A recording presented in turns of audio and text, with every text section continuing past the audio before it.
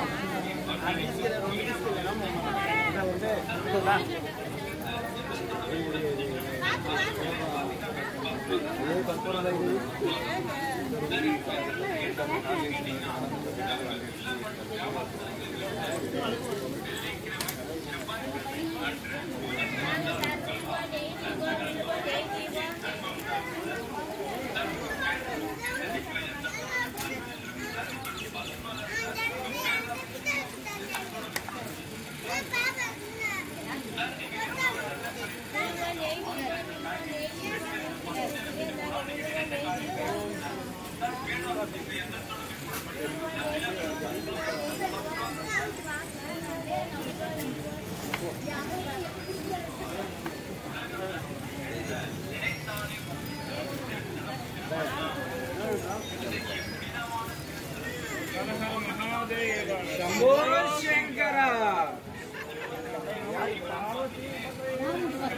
ಮಾಮೂಲು